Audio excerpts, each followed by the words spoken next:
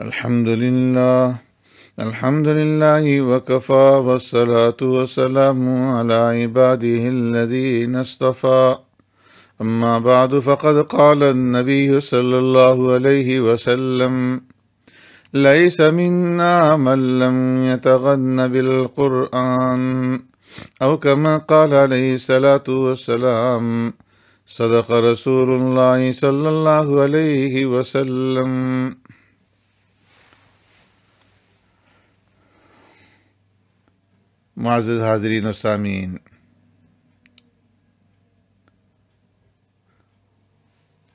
प्यारे पैगंबर सल्लल्लाहु अलैहि वसल्लम की,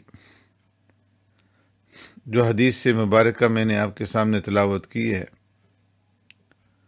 इसमें प्यारे पैगंबर सल्लल्लाहु अलैहि वसल्लम ने कुरान को खुश इल्हानी से न पढ़ने वाले के बारे में फरमाया कि उसका हमसे ताल्लक नहीं।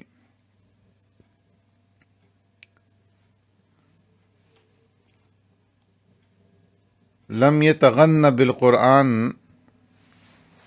के दो मानी बयान किए गए हैं। एक है तहसीन और सऊत, यानी कुरान मजीद को खूबसूरत आवाज़ के साथ पढ़ना। और दूसरा है अल इस्तना उमिन अलगिना यानी कुरान मजीद को थामे रखना। और इसके मासेवा से मुस्तगनी हो जाना। बुखारी शरीफ की रवायत के अंदर है लई समिन्ना मल्लम यतगन्न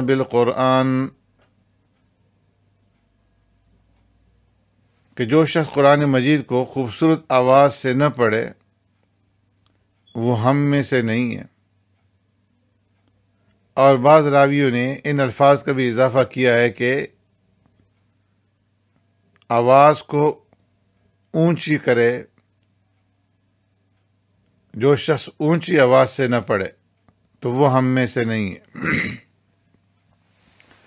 हज़रत साद इबन अभी वक़ास रज़ी अल्लाह ताला फरमाते हैं कि मैंने प्यारे पैगंबर सल्लल्लाहु अलैहि वसल्लम को फरमाते हुए सुना इन हाजल क़ुरान नुज़िल बिहुज़्न फ़ैज़ा क़रअतुमूहु फ़बकू फ़इल्लम तबकू, फ़तबाकू। तगनु बिही फमल्लम यतगन बिही फलैस मिन्ना। फरमाया ये कुरान करीम फ़िक्र बेकरारी पैदा करने के लिए नाजिल हुआ है। जब तुम उसे पढ़ो तो रोया करो। अगर रोना ना आए तो रोने वालों जैसी शक्ल बना लिया करो। और कुरान शरीफ को अच्छी आवाज़ से पढ़ो, क्योंकि जो शख्स उसे अच्छी आवाज़ से न पढ़े, वो हम में से नहीं। सईदना बरा इबन आज़ब रज़ी अल्लाह तु फरमाते, प्यारे पैगंबर सल्लल्लाहु अलैहि वसल्लम ने शाद फरमाया, ज़य्यिनुल क़ुरआन भी असवातिकुम। अपनी आवाज़ से कुरान को मुजयन करो। हज़रत मूसा शरी रज़ी अल्लाह तु की आवाज़ बहुत खूबसूरत थी। एक हदीस में आता है कि उन्हें ने दाऊद में से ऐसा अता फरमाया गया था।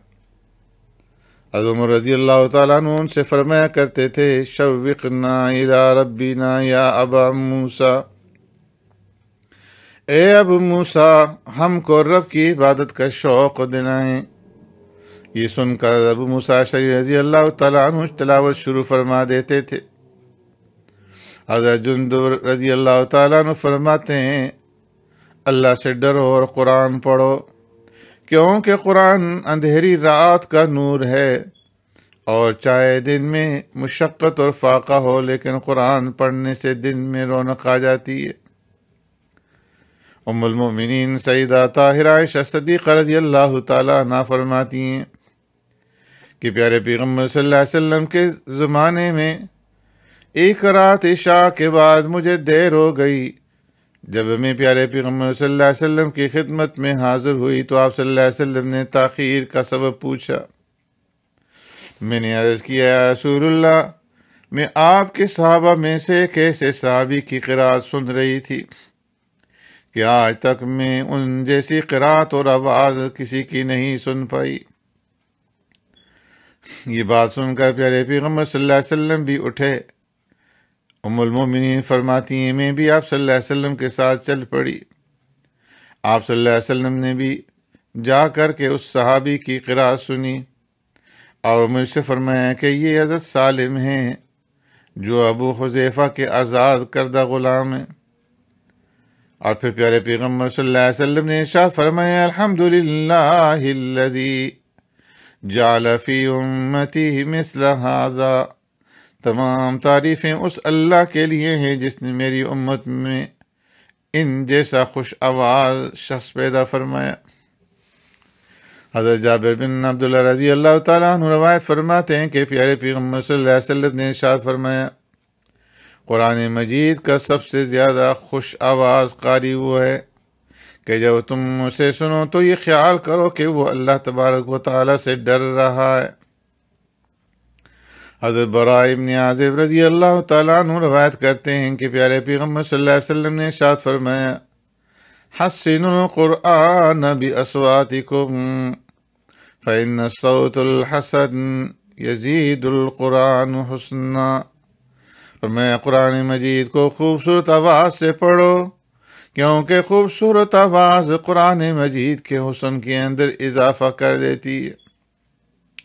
एक मरतबा प्यारे पैगंबर वसल्लम ने हज़रत अब्दुल्ला इब्न मसूद रज़ी अल्लाह तु से फरमाया अब्दुल्ला कुरान पढ़ो मैं कुरान सुनूँगा अर्ज़ किया या रसूलुल्लाह सल्लल्लाहु अलैहि वसल्लम क्या मैं आपके सामने कुरान की तिलावत करूँ हालाँकि आप सल्लल्लाहु अलैहि वसल्लम ही पर अल्लाह ने कुरान को नाजिल किया है प्यारे पैगंबर सल्लल्लाहु अलैहि वसल्लम ने इरशाद फरमाया मेरा दिल चाहता है कि मैं अपने गैर से सुनूं। चनाचे हज़रत अब्दुल्ला इब्न मसूद रज़ी अल्लाह तआला ने पढ़ना शुरू किया। फरमाते हैं कि हज़रत अब्दुल्ला इब्न मसूद रज़ी अल्लाह तआला जब पढ़ते पढ़ते सूरह निसा की इस आयत करीमा पर पहुँचे।